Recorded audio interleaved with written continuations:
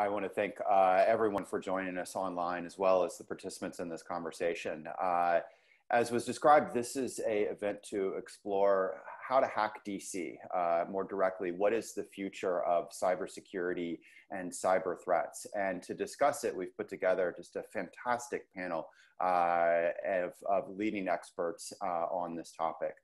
To begin, we're joined by Nicole Perlroth, who covers cybersecurity for uh, the New York Times and also looks set to win um, Room Rater uh, with her background there. It's phenomenal. Um, she's the recipient of a number of um, journalism awards for her reporting uh, on topics like uh, Chinese government, intellectual property theft, uh, etc. She's also the author of a forthcoming book. This is how they tell me the world ends. That is the untold story of the cyber weapons market. Then we have um, Senator Angus King, who is uh, senator from Maine, and before that, uh, governor of Maine.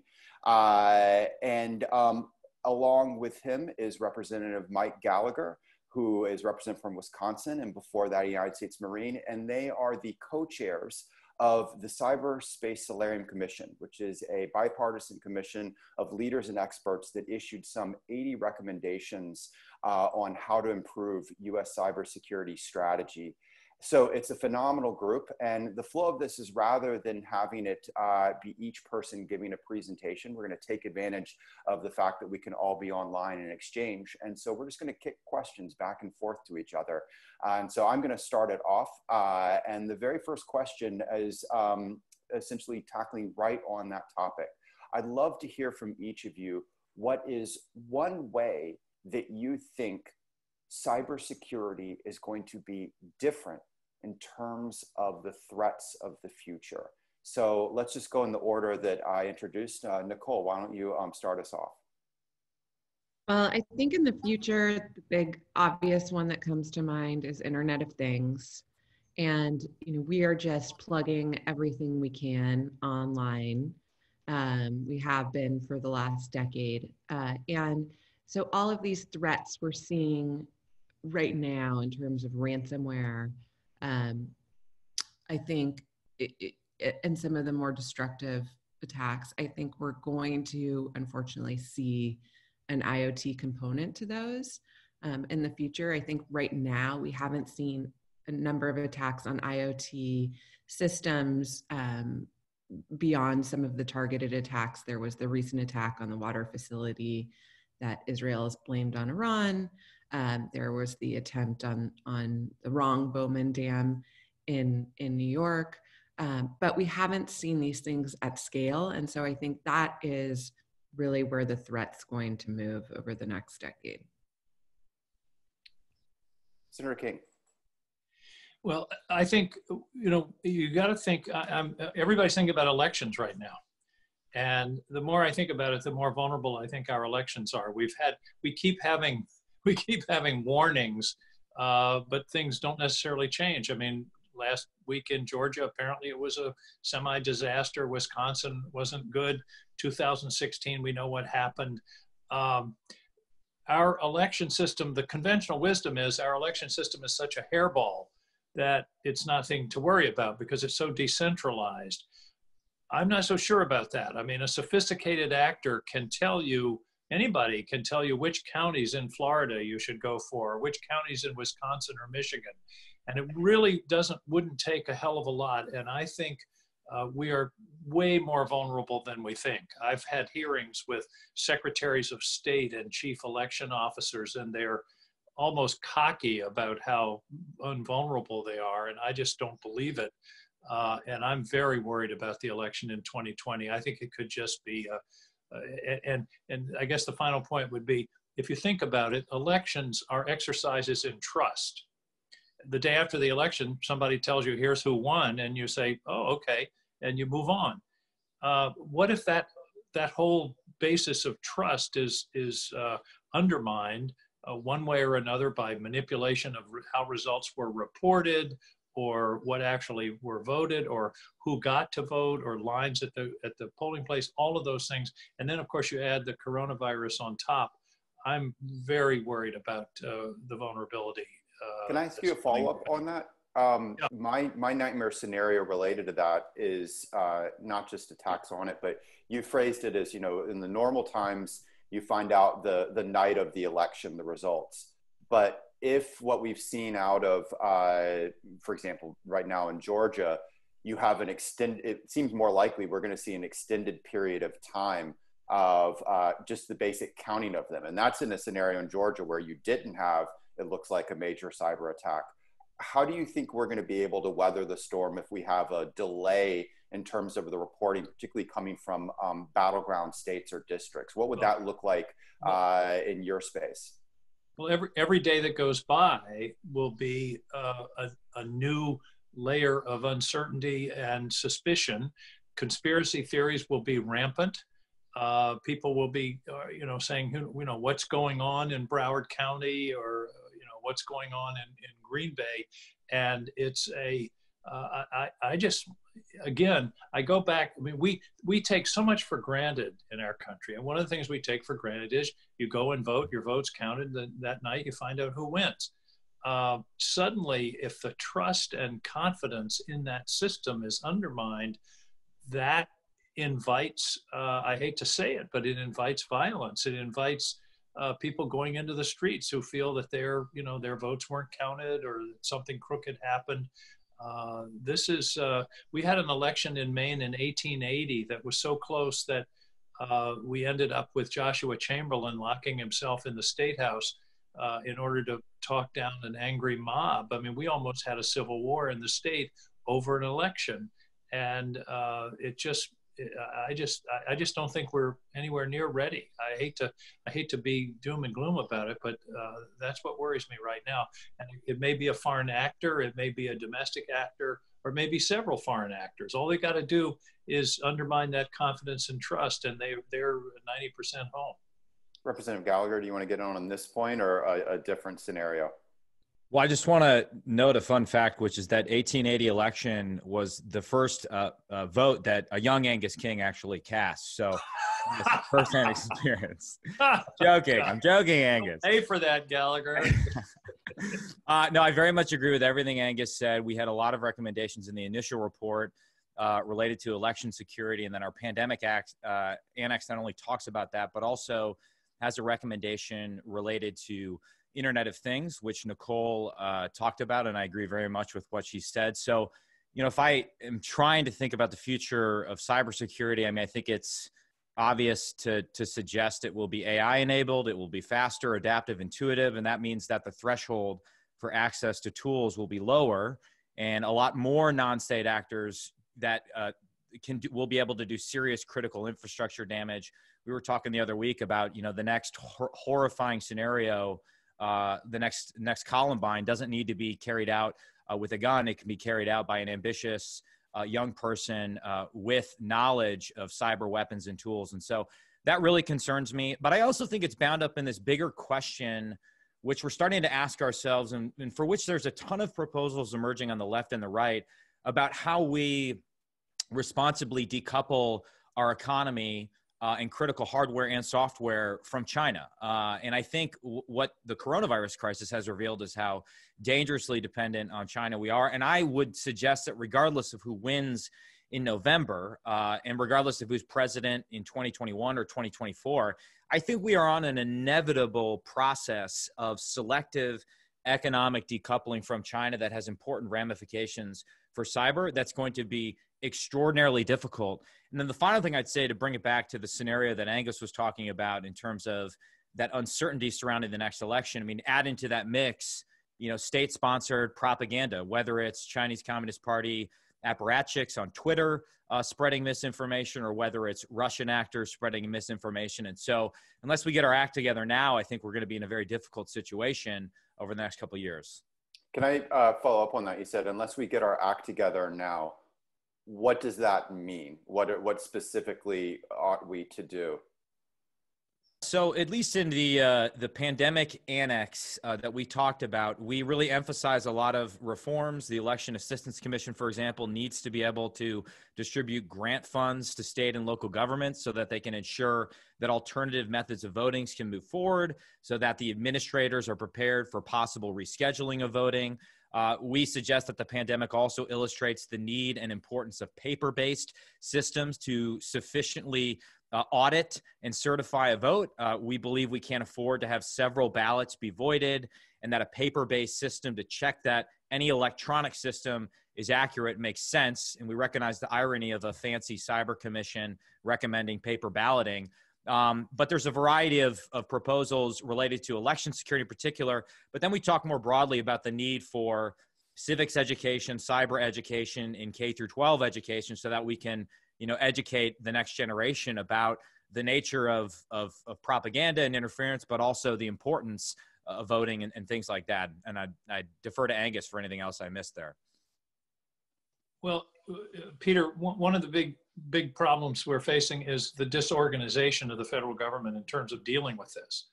Uh, one of our major, you, you asked a question, what should we do? And my, my glib answer is read our report. We have about 80 recommendations. but one of them one of the major ones is uh, the creation of a position of national cyber director in the executive office of the president, Senate confirmed, presidential appointed, Senate confirmed. Um, there needs to be somebody uh, overseeing the crazy quilt of cyber activities throughout the federal government and involving the, the federal government and the private sector. 85% of the target space in cyber is in the private sector. So the relationship between the private sector and the federal government is really crucial. But right now, there's no one in charge, and there's no one who the president can go to and say, work on this, or you're in charge of this, you're responsible for this, you're accountable for this. Uh, we think that's a, a very important recommendation. Uh, we're working, the White House is, is resistant to it. The National Security Advisor, I suspect, doesn't like it no national security advisor would because it's some diminution of their authority. But I think it's one of the most important recommendations we have. The other is to develop a, a, a, strategy of continuity of the economy, planning. We learned from the pandemic, we should be thinking in advance about the unthinkable. You know, what happens if the entire Northeast energy grid goes down? Uh, or if there's a simultaneous attack on water supplies across the country?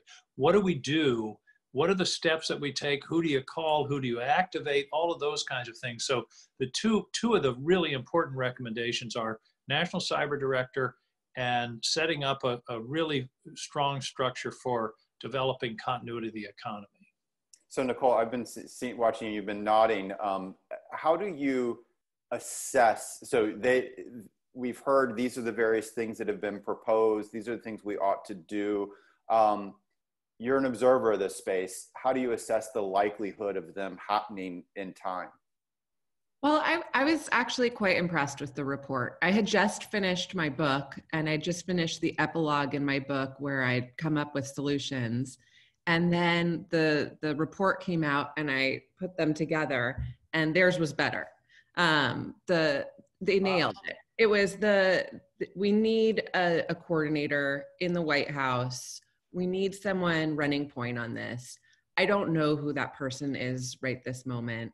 Um, we need someone, especially with the election threats I've been documenting over the last six months. Um, you know, it is not just Russia anymore, although Russia has been extremely active in the disinformation space and amplifying the arguments we're already having with one another and starting with one another.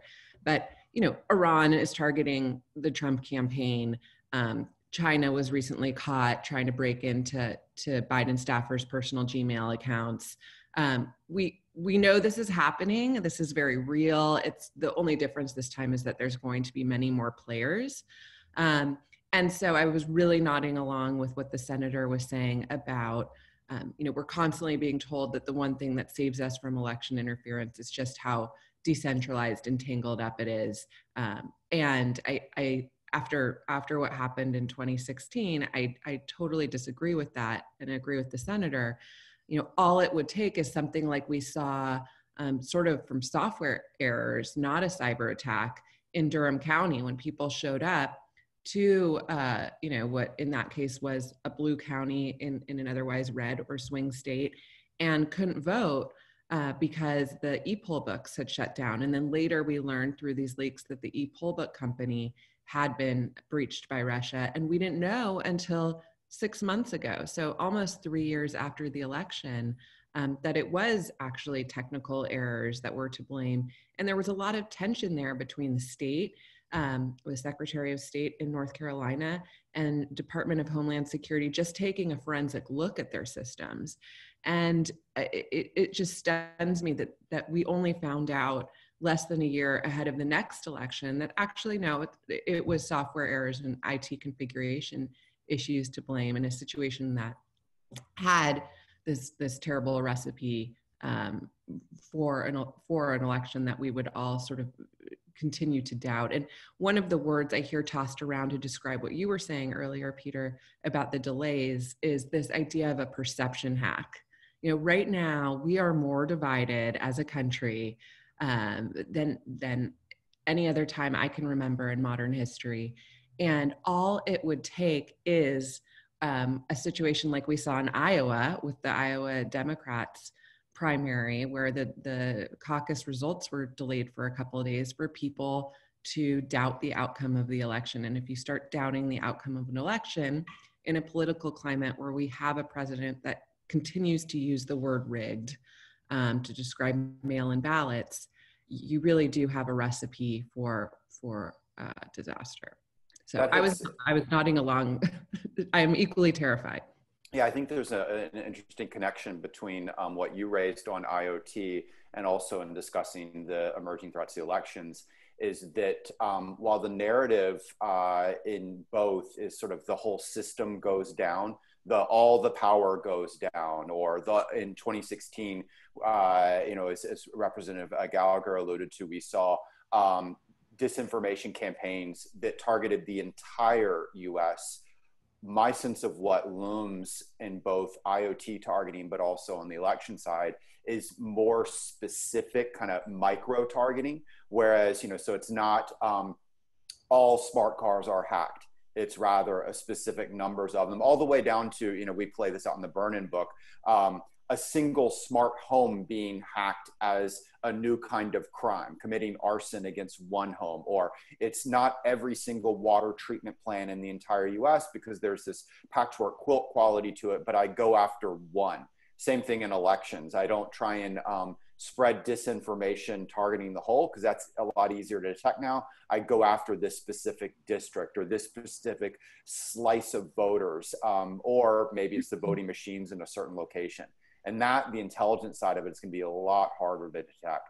Um, I want to throw the question. Wait, Peter, back. can I ask uh, on yeah, that? go ahead, jump on in. Does that does that? I mean, do we need some more widespread, what I would call Battlestar Galactica fail safes? I mean, for those of you less versed in nerd culture, you know, the the idea that you know, uh, you know, the, the Galactica is the only ship that that survives because it's the least advanced, right? So as we ponder IoT and 5G future where everything is connected and the attack surface for bad actors is essentially unlimited, do we, particularly in the military domain, need to build in more fail safes or maybe less networked equipment or something else to minimize the risk of catastrophic cyber attacks? I, I, I think there's a, a, different, you know, while I, I, love and we could spend the whole time doing, you know, BSG and, and, and frak and talk like that. Um, to me, the parallel is uh, we want uh, escalators that fail uh, in a way that doesn't mean the system collapses. Uh, so you want a system that allows you to have the most advanced, but if it doesn't work, you still have a fallback. Um, Peter, there yeah, was a there's a perfect example of that in Ukraine in December of 2015 when we're pretty sure the Russians hacked the Ukrainian electric grid and they brought it down and uh, they flooded the the, the call center and they brought down the electric grid, the lights went out. And it, it only, but it only lasted six hours. And the analysis of why did it only last six hours was that the Ukrainian electric grid wasn't fully digitized. And there were some old fashioned analog switches and, you know, people who had to go and throw, throw breakers.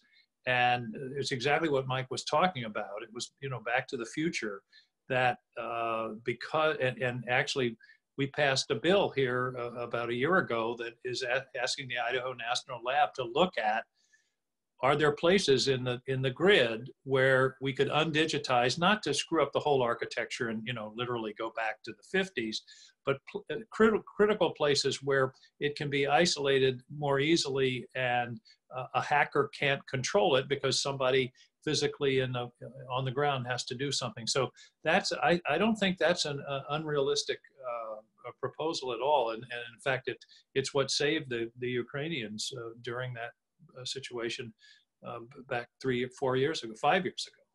And I would just add, I, I was in Ukraine last year.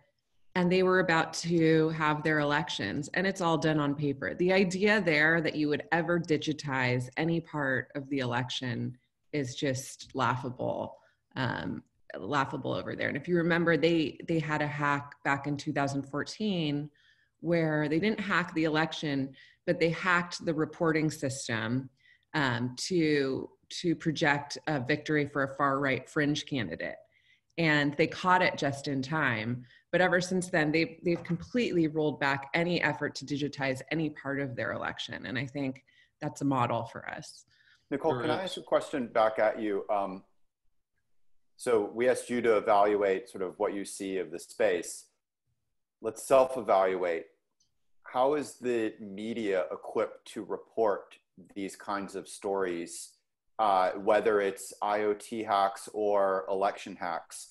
Do you think the media is uh, well equipped to tell the story the right way, or will it um, either spread you know fear uncertainty or doubt or even in some situations aid the attacker in their very goal to spread distrust as the, as the two members of congress have laid out I knew you were going to ask this. so um, I think, no, I don't think the media is prepared. And I think, I mean, one of the things I've tweeted publicly and I've said publicly um, is we need to be very prepared in the media for when the hack and leaks come, and I, I do expect they will come this election season, we need to have a big red box um, at the top of those stories to tell our readers where that material came from if we plan on reporting on it the way that the media reported on some of those hacks and leaks in 2016. Um, that's just one example. Um, I think people really don't understand. Let's just look at Russian disinformation right now. I don't think people and I don't think the media really understand what it looks like. I think when we got that report in February that um, Russian Russia was once again trying to meddle to reelect uh, the president and also to boost uh, Senator Sanders' candidacy. Um, I don't think people really understood what that looked like on the ground. And what it looks like on the ground right now, I'm just working on the story that I think will be out today if it's not already out. Um, is it's just Russia is just pushing distrust. They're just pushing populists versus the establishment.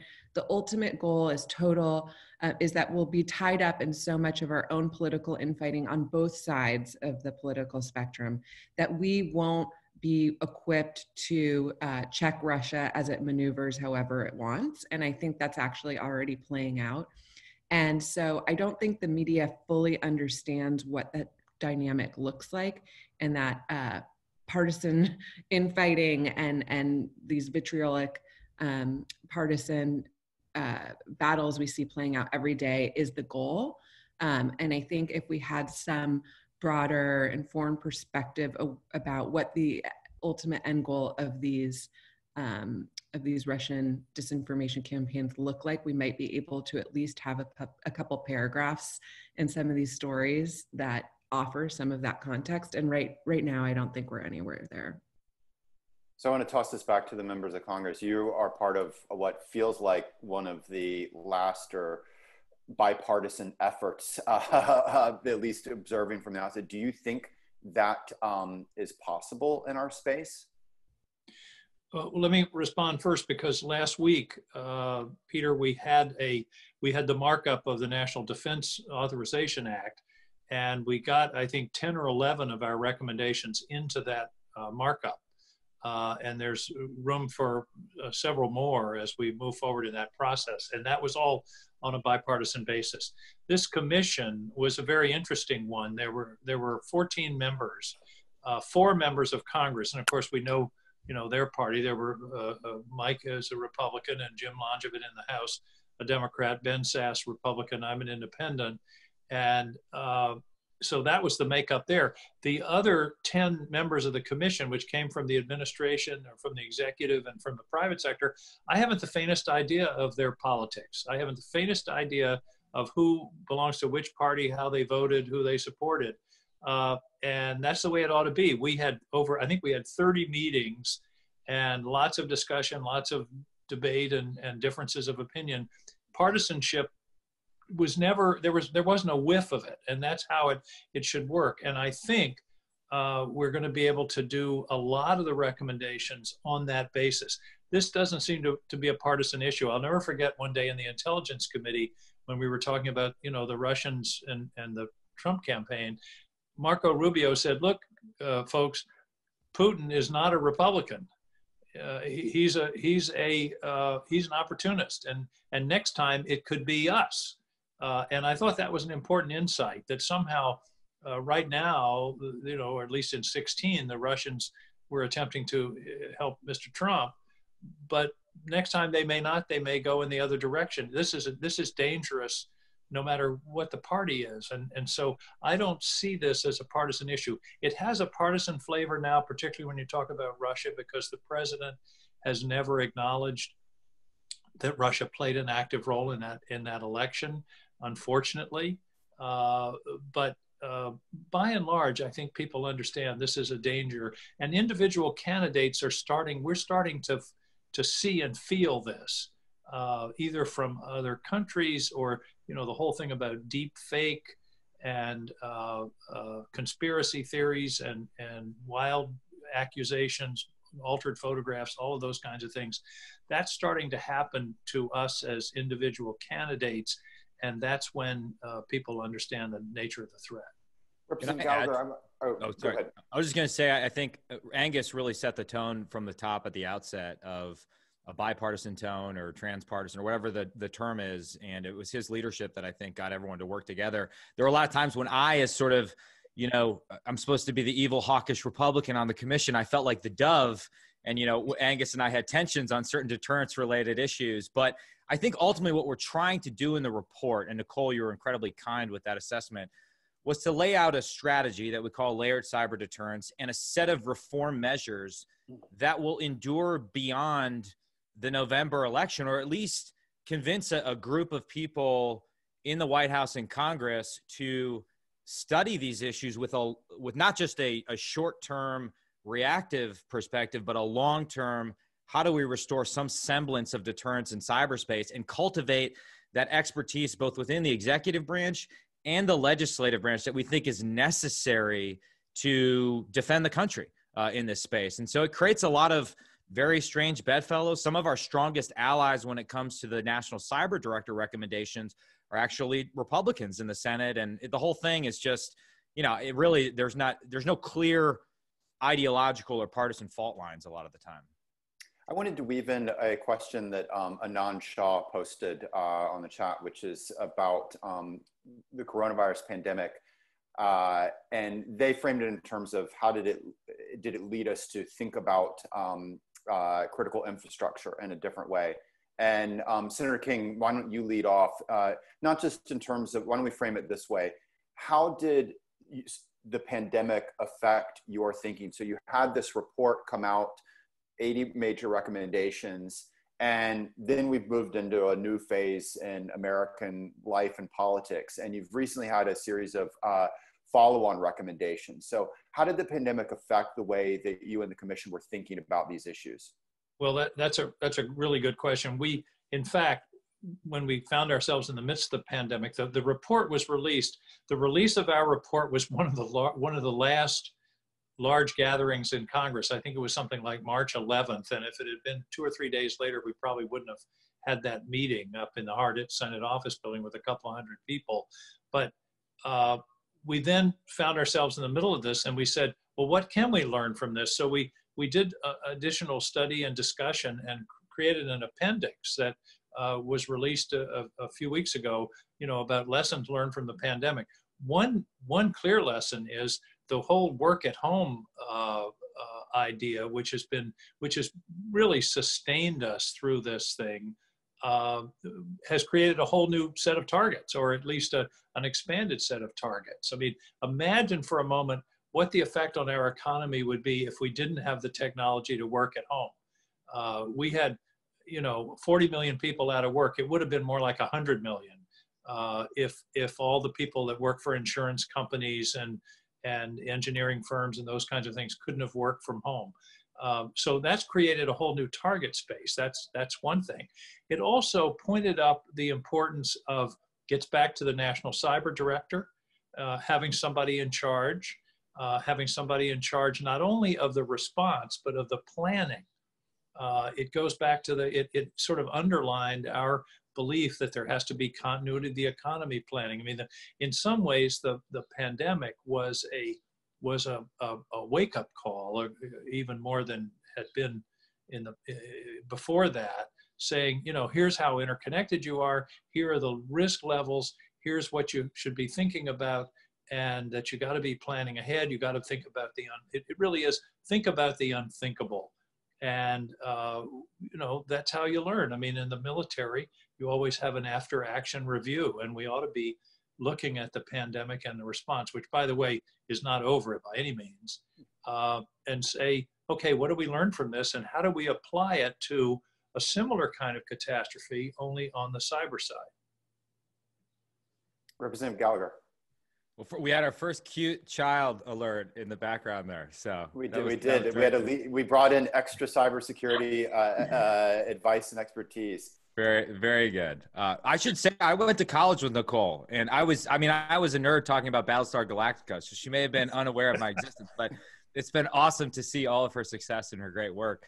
Um, so I agree emphatically with everything uh, Angus just said. I think, if anything, uh, the pandemic not only uh, I think reinforced recommendations on reorganization, national cyber director, but made us realize that we uh, undervalued uh, security of, of Internet of Things. To tie it back to something Nicole mentioned at the at the outset. Uh, so one of our new recommendations is to ensure what to, to get Congress to pass an IoT security law, focusing on known challenges like insecurity of Wi-Fi routers, and mandate that devices have reasonable security measures, such as those outlined under NIST's uh, recommendations for IoT device manufacturers. And I think that recommendation kind of gets to this this uh, needle we tried to thread in the report of we very much did not want to take a prescriptive, top down, heavy government mandate and regulation approach. We want approach. We want the market to work, but we do believe that the federal government needs to create incentives in this space. Uh, and certainly when it comes to cloud security and IoT, that's an area where we try to do, we try to achieve that incentivization without being too heavy handed from the federal government. So one of the questions that's been posed in the chat is um, our workforce uh, capabilities. Um, you know, this is both a technology and a people problem. And as a number of reports have alluded to, we have uh, insufficient um, talent in this space. Uh, there's a numbers crunch. Uh, what do you think are the best ways to go after that? And how are we doing in terms of meeting our current and future needs? Well, it is. It, it's a crucial requirement. There, there's a. We discussed the workforce pretty extensively in the in the report. We've just got to think in in a in a whole lot of different ways. Uh, we, we need to have scholarships. I mean, this is talk about back to the future. My mother went to college in the 20s on a scholarship, which basically said for every year you get to go to William and Mary, uh, you have to teach for a year in Virginia public schools uh, it was a kind of indentured servitude. But we need to be thinking about those kinds of things. You know, the, the ROTC, we need a, a, a cyber ROTC where we provide scholarship help and support for students who make a commitment to, to public service when they get out on the, on the cyber side. We also, and I've talked with the military about this, we have to think about uh, what the real requirements are for a cyber warrior. Uh, do you really need to be able to do 100 push-ups in order to be a cyber warrior maybe you know i don't mean lower the standards but but just we need to think a little bit differently there's an enormous amount of cyber talent out there think of all the kids who at this very moment are playing pretty sophisticated video games. We need to figure out how to tap that talent. I, I, I was told the other day there's something like 35,000 IT related jobs in the federal government that are empty. Uh, so to say there's a need is a really understatement. So it's got to be a kind of all hands on deck. There's no one solution. Education reform, uh, scholarships, uh, uh, marketing, all of those things. But it's a, it is a serious, it is a serious problem, and it's one that that we need to address in a, you know, no no single solution, but in a, a multiplicity of ways. So, Representative Gallagher, I saw you uh, nodding your head on that. You want to jump in? Well, I just think we have a lot of uh, recommendations on, you know, 20% increase in the Cyber Corps scholarship program, uh, trying to get the military to improve its transition assistance program. So when you transition off active duty, at least when I went through it, the program was terrible. It doesn't set you up for success, particularly for a young lance corporal you know seeing if you can spot and identify the people that have talent and immediately as they come off active duty slot them into a cybersecurity role but i think and maybe angus would disagree on this but i think as we looked at this we kind of came to the conclusion that even in the best case scenario if we really improve pay improve hiring flexibility you know allow that young kid with purple hair who doesn't want to do uh, you know, push ups or get a high and tight to nonetheless be a cyber warrior. There's still, we get to this point where we still are never going to be able to compete with Google and whoever on pay and lifestyle, right? But we can't compete on mission from the federal right. government, right? The NSA has a cool mission. I mean, you can do things there that you can't do anywhere else. Similarly, if we uh, elevate uh, CISA and make its mission just as appealing and as, as sexy as, as, as Cyber Command and NSA, we believe that you know an organization like CISA, which is charged with defending our critical infrastructure and our domestic networks, can occasionally compete with and attract talent uh, and and beat Google and Facebook and and the other companies that might be able to offer a far you know bigger paycheck than the federal government ever will be able to. Can I follow up? Um, we've talked about the pipeline into the military, or we talked about CISA. Why do we not have an auxiliary for that in terms of, you know, not people becoming direct cyber warriors, but a broader, you might think of it as a reserve corps. You think about what Estonia has in the Cyber Defense League. What we have at certain state levels, Michigan has a cyber corps that's, again, not part of their National Guard it just strikes me as such a gap that um, the Coast Guard has an auxiliary that helps it do boat inspections. We have the Civil Air Patrol that can mobilize to help with aviation related emergencies, and yet we don't have a cyber equivalent. What, what would fill that gap? Because again, if it's just sending more people into the military or directly joining government, it still leaves a massive well, gap. We, Peter, we almost do in the sense there's a lot of cyber capacity in the National Guard. Uh, people who work in the private sector as you know engineers, IT engineers, and other things who are in the National Guard, and there there are guard units around the country that have tremendous cyber capability. So that's not fully a full answer to what you're talking about, but uh, but it, I, I think there there there is activity going on in in that uh, in that area. And I, I agree with what Mike said about making uh, making the transition out uh, uh better. Peter, I don't want to um, miss since our time is is running out. Uh, talking about the international aspects of this and, and norms and standards. Um, uh, part of our report talks about the importance of having international norms uh, about cyber crime and, and cyber use of cyber uh, so that it's, it's part of the deterrent strategy. Uh, we want malicious cyber actors to, to know that they're going to be international pariahs if they, if they do so, and they're going to pay a price internationally. And that's, that's an important part of our recommendation. I just think, I, I just wanted to be sure we got that, that message across. Can I chime in? We do ask uh, CISA to look at the creation of a civilian cyber reserve, you know, ideally creating something that might, you know, you know, I, when I got out of the Marine Corps, I didn't, I did the reserves for a little bit, but I ended up just not wanting to do it. And I think there are a lot of people for whom they want to serve, but maybe the National Guard or the reserves isn't an attractive option. So theoretically, CISA could cre- create something that's a bit more attractive. But I'd be curious, Nicole, if you mentioned the epilogue of your book, you know, and kind of recommendations you laid out, what did you arrive at any hypotheses about the human element of this and how we can Im- improve recruitment because i do think it's the most important part. It's all about getting uh, i agree. and and i and thanks for asking. I think one thing that we have to always remember is we're at such a disadvantage in in a capitalist society in a democracy.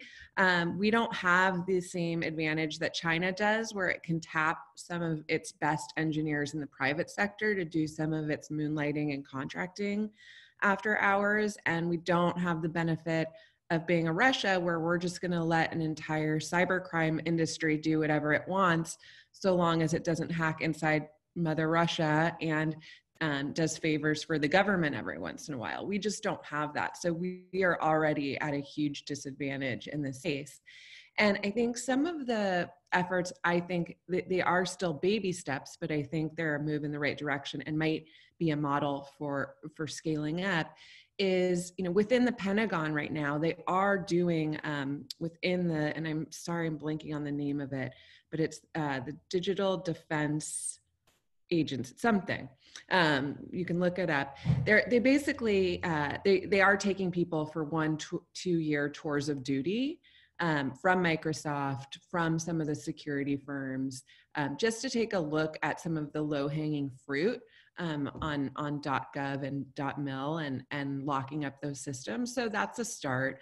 Um, they are also engaging um, Synack, for for instance, and some of the private bug bounties where they're calling in some of the, the best engineers from Microsoft, from the security space, from the hacking community, um, and asking them to take a look at uh, the networks that that are attached to our weapon systems, for instance, and patching up those holes.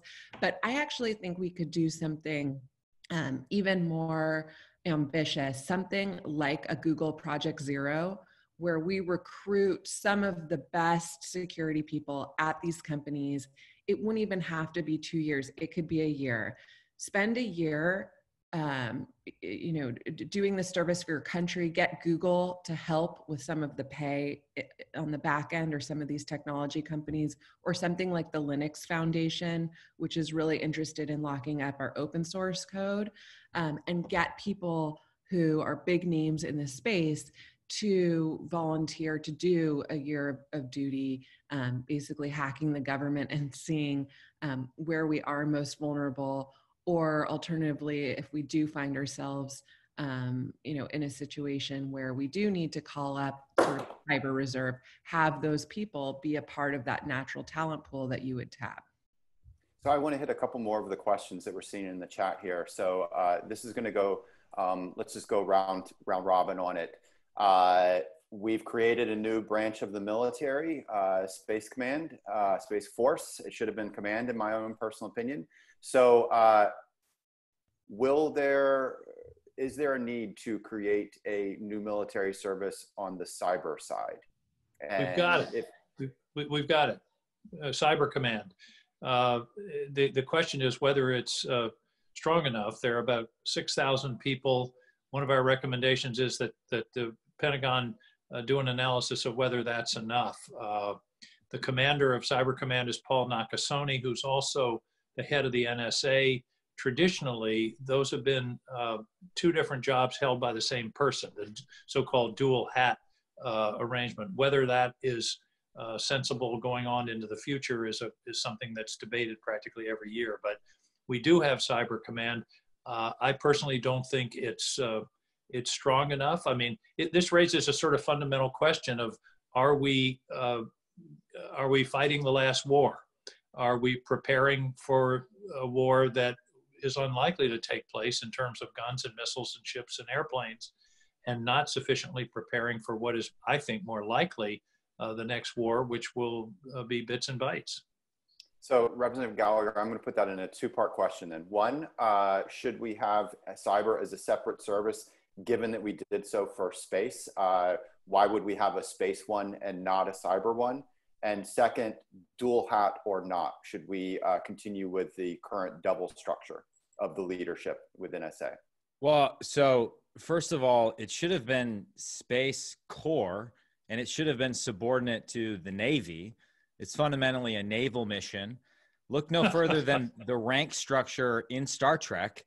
It's Captain Jean Luc Picard. I mean, these are Navy ranks. So I rest my case on that. Um, I, uh, I agree with what Angus said uh, about it's less a matter of creating, you know, a new service uh, than it is. I mean, it's hard to create two new services in less than a decade. Than it is adequately resourcing Cyber Command, uh, giving new acquisition and budget authorities to Cyber Command, uh, and seeing what the new force structure assessment comes out uh, with. we, for example, are recommending allowing uh, existing agencies to do threat hunting on defense, intel, uh, defense industrial based networks, allowing CISA to do uh, threat hunting on .gov networks in the way Cybercom can do it on uh, .mil networks. So I think it's we sort of took the approach of uh, taking uh, what we have right now and elevating and empowering existing agencies rather than creating a bunch of new ones. as for the dual hat question, very controversial but we've asked uh, DoD to tell us where it has met certain expectations, uh, you know, uh, and, and where it hasn't. And so I'm, I'm punting on that one politically right now. Look, if I, I had my choice, I'd, I'd put Paul Nakasone in charge of several other parts of the government. I mean, he's, he's one of the most talented people that we have. Uh, I will not punt on it. Um, I do not believe that uh, Space Force was needed if we were going to create a new service. It should have been on the cyber side, given that uh, the space issue is mostly a uh, was an acquisitions problem versus cyber. It was everything from acquisitions to it's highly operational.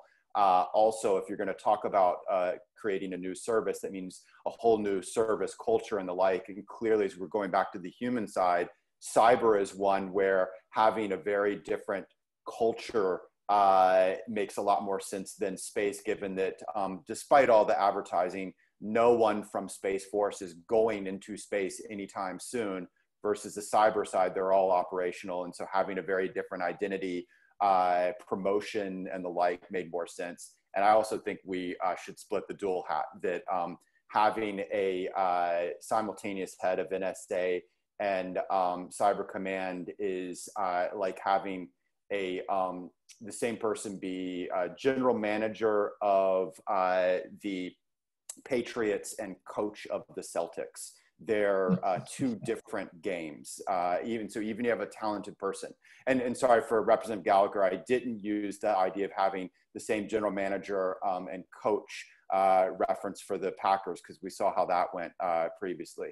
Um, well, it worked under Lombardi. He had full authority for all of that. Many, so, many, many generations back. Um, so let's uh, let's jump into. Um, I think we've got time for one last uh, question, and um, actually, we'll we'll ping off of on the Packers side. So there is a saying that if you have two good quarterbacks, you actually have none which is something about to play out in terms of draft strategy there. So, in terms of priorities, of all the different priorities that have been set out there, all the different actions that could be taken, what do each of you think is the most important single thing that ought to be done in terms of US policy? So, what is the one, you know, so for the members of the uh, commission, you had 80 uh, what's the most important thing that you think should be done? Nicole, you've just finished up a book. You clearly had lots of ideas. What's the single most thing out of that? So, um, Senator King, why don't you start us out? I'm going to modify the question a bit by saying the two most important things.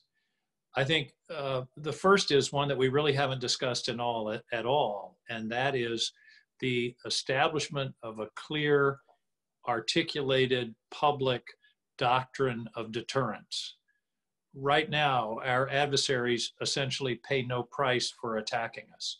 Uh, they, you know, some sanctions here or there, but there's no there's no uh, cost imposed for an attack beneath the, the level of a, of a physical attack.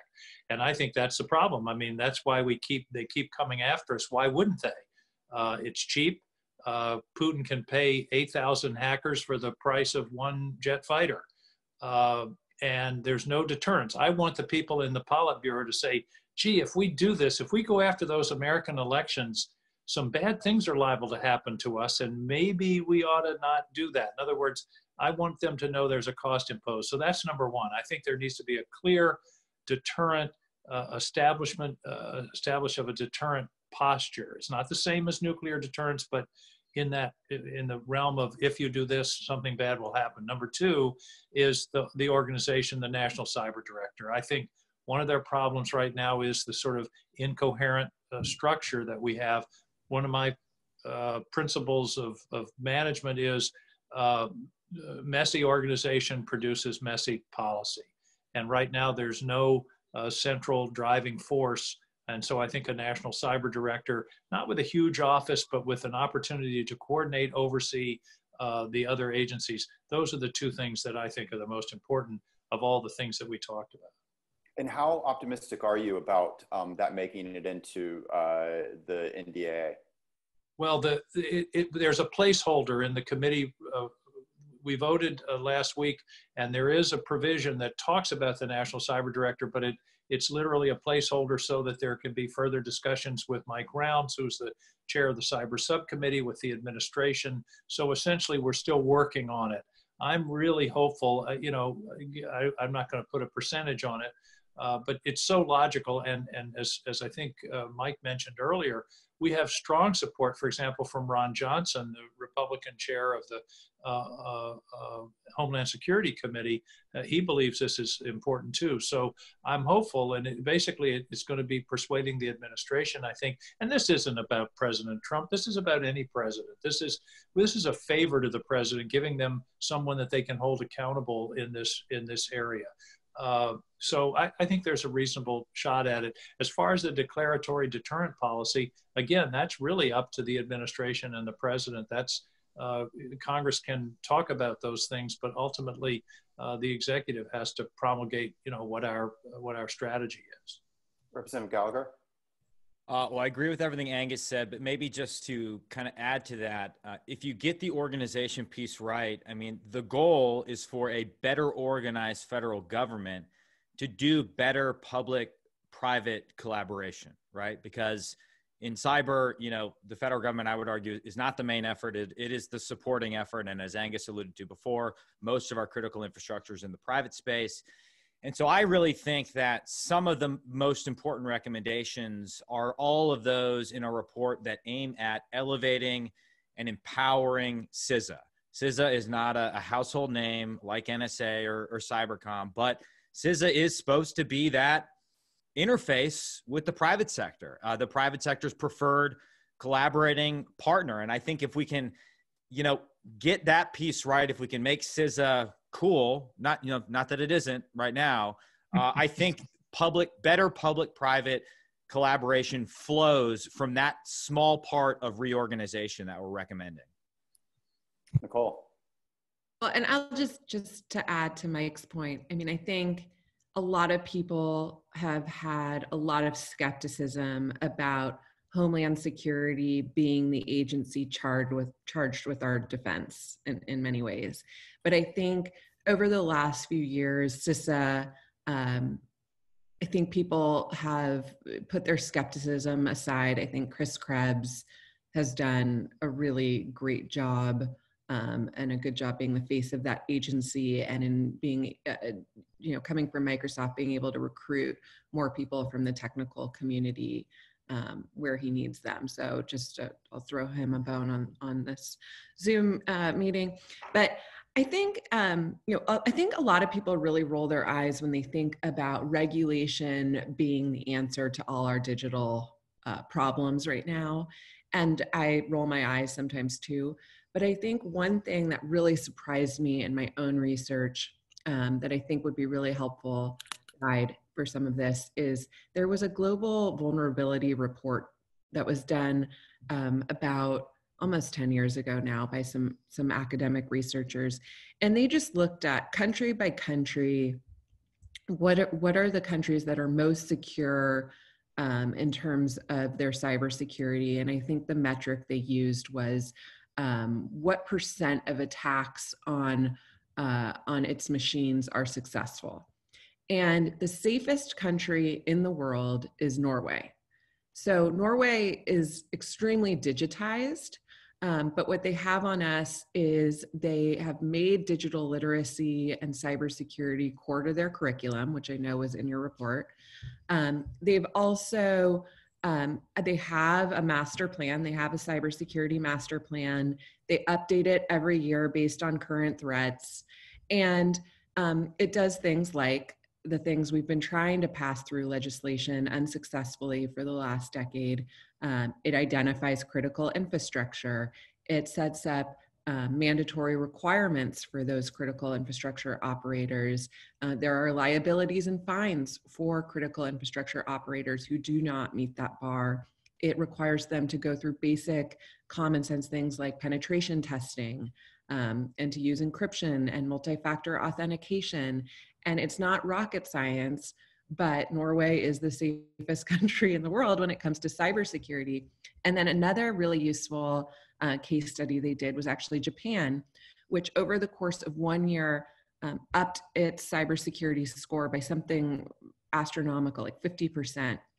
And what they what they saw when they looked at what was the difference that year was Japan came up with a master similar master plan for cybersecurity, and they really put a lot of effort into digital literacy, um, cybersecurity training, both in the public and private sector, fines. They were the only national cybersecurity policy to mention the word air gapping. They put a lot of emphasis on setting up perimeters, um, non digitized per- perimeters around some of their core critical infrastructure. And the, this is something we could easily do here. We just unfortunately have a lot of strong lobbies um, and lobbyists who've argued that some of these really basic things that we would require from our critical infrastructure operators are too burdensome on the private sector and that's just nonsense at this point. When you look at the cost of cyber attacks related to terrorism these days the cost of cyber attacks is is now by some estimates in the trillions, whereas we see the cost of terrorism going down. So it's time to really focus on this issue and think about um, what we're losing in terms of, of intellectual property um, and business and uh, every day from, from cyber attacks and ransomware attacks and intellectual property theft. So um, yes, master plan, um, look at what some of these other countries have done and, and implement it here. So I'll close by, um, I think it brings us full circle. Uh, for me, it's to, uh, in that master plan, go after the risks that you identified in your answer to the very first question, which is a particular focus on Internet of Things. Uh, essentially, my feel is that we are recreating almost all the mistakes that we made with internet security when it was the last generation in terms of it being used for communication uh, we're basically recreating all of those mistakes as the internet alters into an internet of things where it's about operation.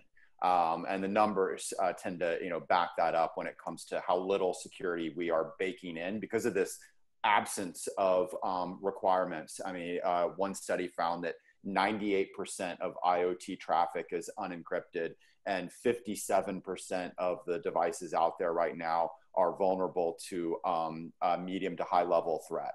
Uh, and you know, as we play out in the burn-in book, but also we can steer the audience to a, a new infographic that we have um, on the New America website.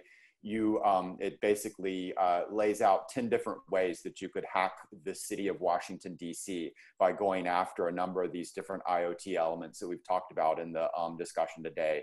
Uh, whether it's smart homes, whether it's the move into having um, drones, whether it's uh, trains, to uh, water treatment plants. You know, the um, reference of uh, what Israel suffered in the last week, someone going after a system and uh, targeting the chlorine levels.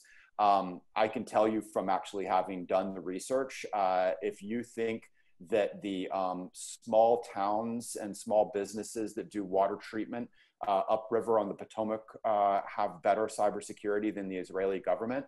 Uh, I've got really, really bad news for you.